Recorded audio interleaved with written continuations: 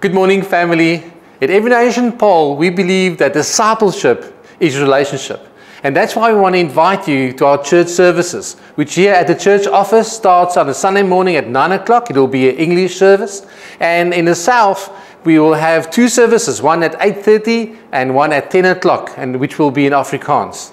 We want to just say um, we invite you to those services. Please bring someone along and you need to register for those services. Our youth is also starting on the 21st of February, and um, please go to Church Suite. We need to register for that service as well, and encourage your children to come along, come and come and meet up with other people that's got like-minded thinking. We also need some volunteers. The church being on and off and on and off. We need some volunteers to come and help us with kids and with the media. And also maybe if you feel that you're a more organizational kind of guy or a lady, we need a service coordinator. So please come and help us out in that way as well. And then um, we just want to say thank you for each one that's contributing to, with, to, to the finances of our church. Um, we have a, I've got a verse this morning in Hebrews 13, verse 16, and it says, And do not forget to do good and to share with others, for with such sacrifices God is pleased. So what are, we, what are we saying? We're saying that we need finances to be able to reach out to people in need in this time. And maybe you don't hear of all the stories and all the testimonies that's coming out, but there's a lot of sharing that's happening from the church office side. So please help us to be able to do that. Help us to be able to share with people that is in need. And, um, and bring your finances, bring your tithes and your offerings to the church office. We have EFT, and also on Sunday mornings, we will have boxes where you can also leave some money there. Let's pray together as we start off this service. Father, I want to thank you that we can pray for each one that will open up their spiritual ears to listen this morning. We pray that you will stir hearts. We pray that you'll stir them into motion going forward. We want to thank you that you will bless each one listening in this morning and tuning in and taking time um, to hear what your word is saying. I pray that in Jesus' name. Amen. All right. Thank you, Pastor James. And for the four people in this auditorium, thank you for that rousing welcome.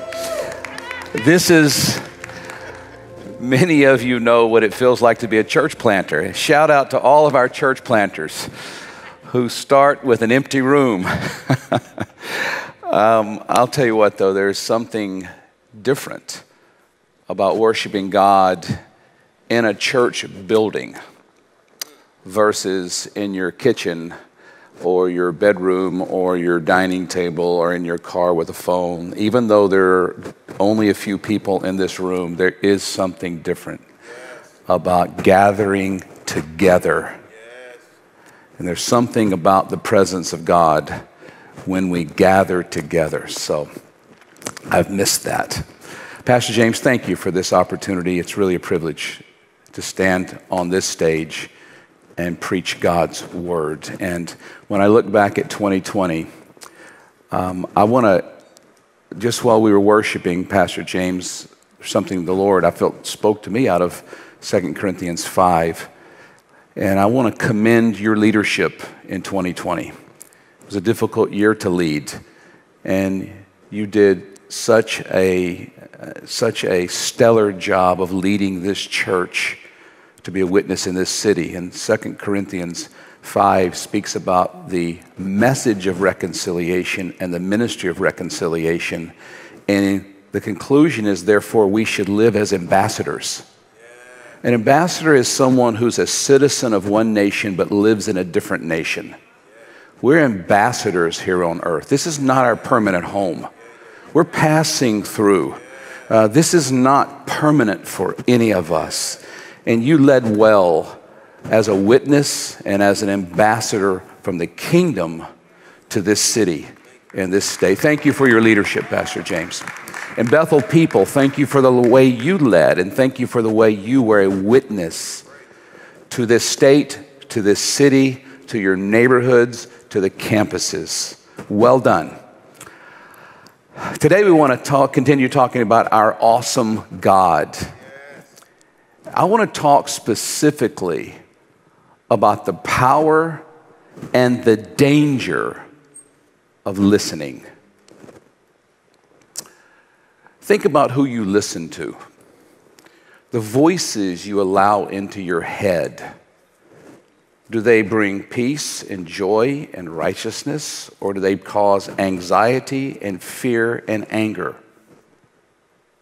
The voices you allow to shape your soul. And make no mistake, the voices we allow in our heads shape our souls, for better and often for worse. I posted a blog on my website um, a few days ago. My hope was that I would give Christian leaders a perspective on what happened in our nation the past week and even the past months.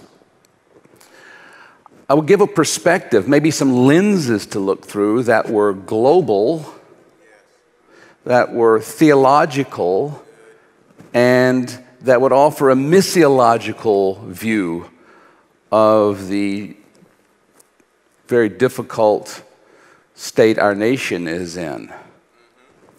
The responses were really interesting. And it was pretty obvious from each response whether they primarily listened to Tucker or Anderson or QAnon or some self appointed internet prophet. Reading the comments, you could really tell who they listen to. But there's a voice that we need to listen to that shapes our soul differently. And that's what we want to talk about today as we continue this series on awesome God.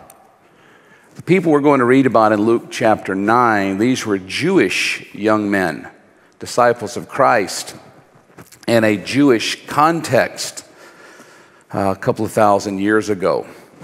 And the voices that they listened to were called the law and the prophets. And when you read that phrase over and over, in Old Testament, New Testament, that comes up the law and the prophets. And it's a basically, just to summarize, it's a way of thinking about the Old Testament. What was their scripture at the time? The law, that was the law of Moses. That was the Torah in Hebrew, or the Pentateuch was the Greek idea of it. Same thing. And it meant the first five books of the Bible uh, Genesis, Exodus, Leviticus, Numbers, Deuteronomy, the Torah, the Pentateuch. That, that's the law. That's who they listened to. That's what shaped their soul and the prophets. And the prophets was basically pretty much the rest of what we would call the Old Testament.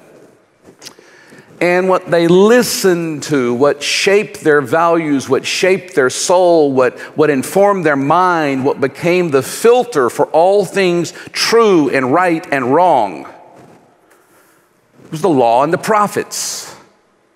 It was sacred. It wasn't Tucker and Sean or Don and Anderson. The law and the prophets. Now, I know there's some who think those guys I mentioned are the law and the prophets, but no. And there are these prophets who have been saying things, and people listen and then they act on that, even though often these prophets are clearly wrong. So, what does our text tell us? Let's turn to Luke chapter 9. And Luke chapter 9 is a fascinating chapter in Scripture. Uh, Matthew takes a couple of chapters to say everything Luke does in chapter 9. Mark does as well. Usually, Mark is the shorter of the synoptic gospels, but this time Luke is shorter. And I chose Luke because he, he it's more concise in this story, but they all tell the same story.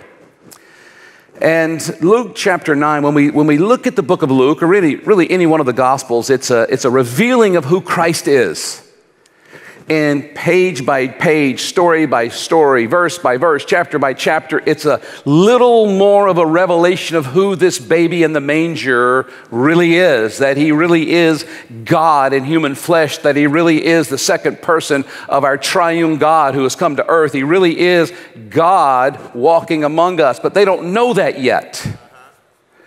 But Luke chapter, chapter 9 is sort of a crossing of the Rubicon. It's sort of like when Julius Caesar in what, uh, 50 BC or so crossed the Rubicon River bringing his army into Rome. It was a crossing, a point of no return. It was a radical step, and that's what Luke 9 is. It is a crossing of the Rubicon in terms of revealing who Jesus really is.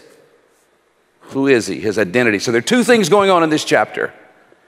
There are the voices that we allow to shape our souls, but specifically the voices that define who Christ is, who Jesus is. There's no more important topic or question we'll ever wrestle with than who is Jesus. Luke 9, and we're going to read verses 18, 19, and 20, and then sort of walk through the whole chapter. Now it happened that as he was praying alone, the disciples were with him. And he asked them, who do the crowds say that I am? And they answered, John the Baptist, but others say Elijah, and others that one of the prophets of old has risen. And he said to them, But who do you say that I am? And Peter answered, The Christ of God. This is the Word of God. Now, the context of this, when we get to chapter 9, the first verse, we see that Jesus has called his disciples, these disciples who their whole framework for truth and reality and history and culture and everything has been what? The law and the prophets. And Jesus calls them and empowers them and sends them out in chapter 1. In the next few verses, you see that these disciples now are healing the sick, casting out devils, doing miracles. By the time we get to verse 9, word of these miracles has gotten to Herod.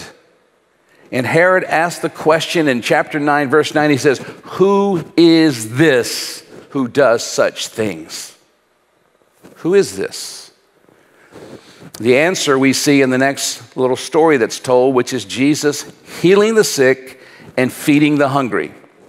Begins in verse 10. He's feeding, this, he's feeding these 5,000 hungry people with this time with five loaves and two fish. And he's healing the sick as it goes. And, and, and to, the, the, the, the picture, the story, the, the news things happening are answering Herod's question of who is this? But we get to verse 18, our text. And it's a fascinating phrase it starts with. It says, Jesus was praying alone, and the disciples were with him. I thought he was alone. I have been pondering that verse 18 for weeks. I don't want to be one of those people who's in close proximity to Jesus but not doing what he's doing he was praying, and he was praying alone, but they were with him. They were with him, but they were half asleep, as we find out later. They weren't dialed in. They weren't really present. They weren't really, they were sort of hanging around him, but not fully engaged in the kingdom work he was doing. Don't be that guy. Jesus was praying alone, even though they were with him. I don't want to just be in close proximity to Jesus. I want to be doing what he's doing. I know you do too. And then he asked them, What do the crowds say about me? Who do the crowds say that I am? The crowds have an opinion and then they answer, and it's really fascinating how they answer this. What do the crowds say? Who do they think I am? We're back to the identity. Who is this person? And so the answer was they answered. All the disciples start throwing out answers. Some say John the Baptist, some say Elijah, or one of the other prophets. Matthew adds specifically Jeremiah. The people listed that the crowd say, they looked at Jesus. It's interesting, the answer is the opposite of what sometimes traditionally we think. The answer was not this meek and mild, lamb around the neck, quiet, um, timid, nice person. That's not John the Baptist. He was blunt and bold. That's not Elijah. He was this miracle worker who confronted evil and injustice and idolatry and immorality. The crowd's perception of Jesus was so different than what we think it would be. But that's really not the answer of who he really is. Who does the crowd say? Well, here's what the crowd says Who do you say? When he said, Who does the crowd say? It says the disciples answered. They all got into that conversation. Now he goes, Hey, but, but who do you say? And they all went silent. They didn't have an answer. And then Peter spoke up. It's a lot easier to talk in third person about Jesus than personal experience.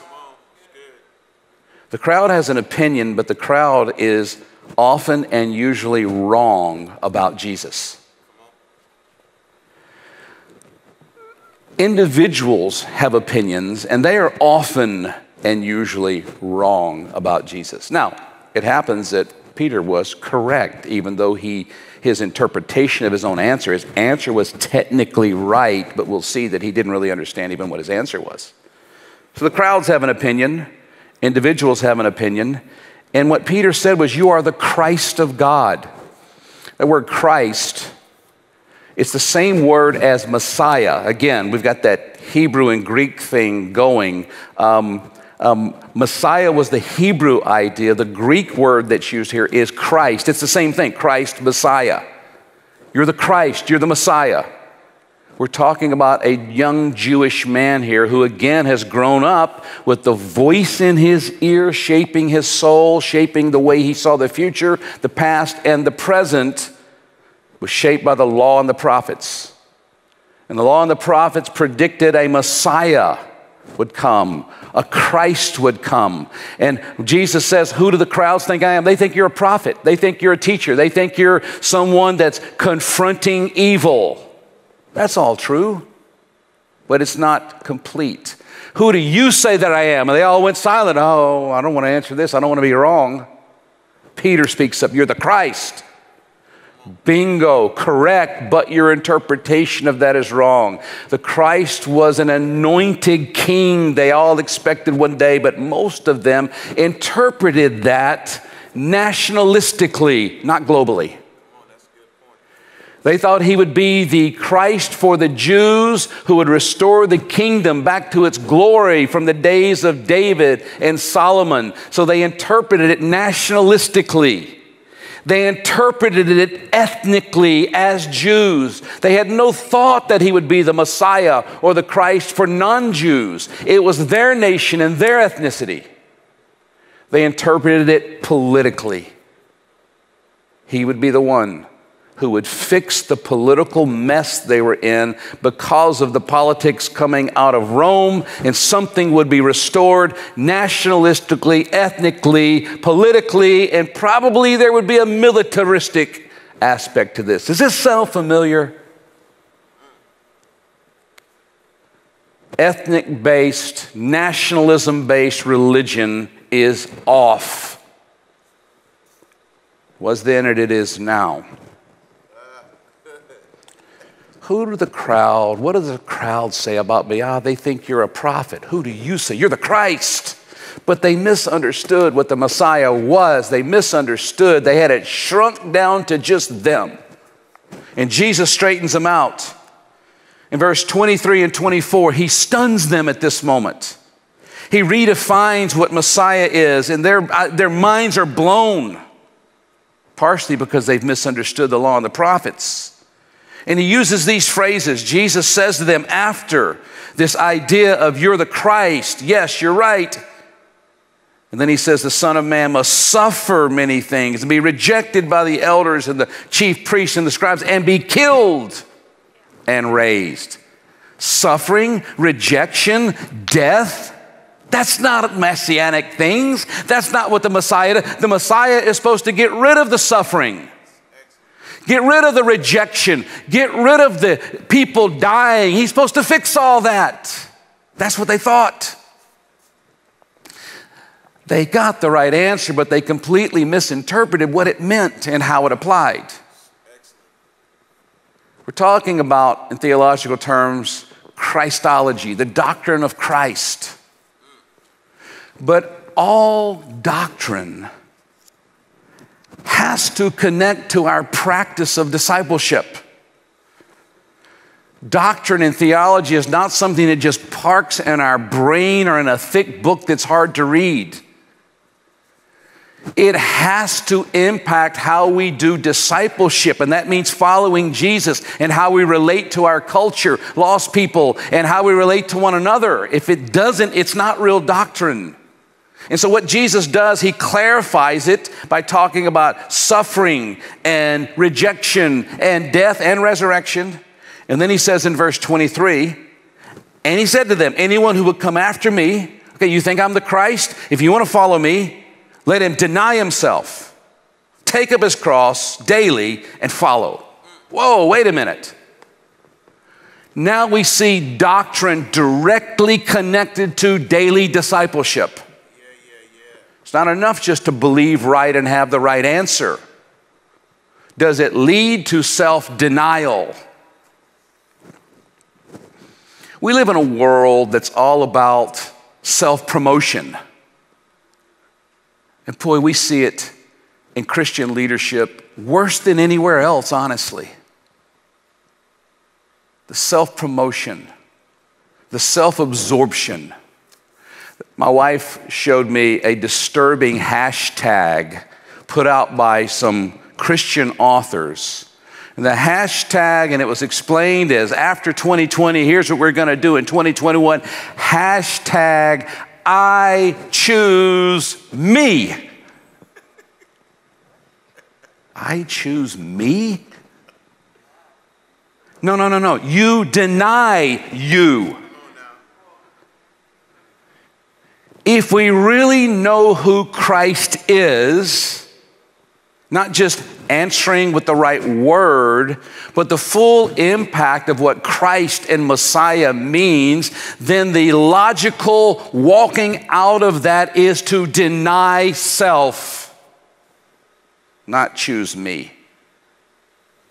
Self denial, cross carrying. When it said carry your cross, what he meant was that top beam of the cross. And if you ever saw, if we could go back in time and we're there in the Roman Empire, it wasn't unique to just Jesus, but anywhere in the Roman Empire and you saw someone carrying a cross beam, what it meant was they were going to be crucified, they were going to their death. And you carry that thing until you die.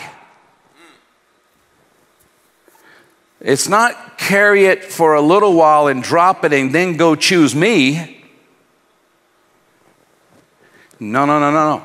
Someone carrying that crossbeam carried it until death do us part. Deny yourself, pick up your cross, follow. Now, this whole chapter is about this radical revealing of who Jesus really is. And it's also about who do we listen to. These young Jewish believers, their whole lives, for generation, their families, generation after generation after generation, their minds, their souls, their view of the world, everything had been shaped by the law and the prophets. And now this fulfillment of this Messiah we've heard about. He's standing right in front of us, but they didn't totally understand what that meant. And then we see this, boy, this Rubicon moment in this transfiguration story. All three synoptic gospels follow Peter's confession of who Christ Jesus is, the Christ, the Messiah, with this story of the transfiguration. Uh, it, it's about a week later, and it's Peter, James, and John are invited with Jesus up to an unnamed mountain. We don't know which mountain this is, but here they are, they're on a mountain. And Jesus is praying, and once again, he's praying alone, but they're with him. They're more sleepy. And his clothes start glowing this glory of God shines on Jesus and through Jesus. And then suddenly it's not just Jesus, Peter, James, and John. Two other people show up Moses and Elijah. Now, Peter, James, and John are startled by this. These are their heroes from their past. These are like legends. You ever been around a legend in your field? You ever been around somebody that you were just awe, just dumbstruck, just gobsmacked, just you didn't know what to do or say, and suddenly all sense of dignity left you? Maybe you're really into, uh, you know, people come to Nashville and bump into some music celebrity. I probably do, but I wouldn't know who they were. Or maybe a movie star. Again, I, I, I wouldn't be impressed because it would probably go right past me who they are. But there was one time when I was around a legend, someone that I just, uh, I just lost all dignity and ability to relate because this person was an icon to me, a legend. I was preaching at a conference in Australia a few years ago, and the other speaker was Reinhard Bonnke. When I found out we were the speakers, I, I told the person hosting the conference, Would you please just give my slots to him? I would much rather listen to him than me, and I think everybody at the conference would rather listen to him than me. And I was so intimidated. I was just, I was just, I don't usually get like that. And I'm just, Mr. Bonnke, eh, but he was so gracious. He was so kind. He was so, um, it was amazing. You ever been like that? Maybe around an athlete, celebrity, I don't know. I don't know what impresses you. Moses and Elijah show up.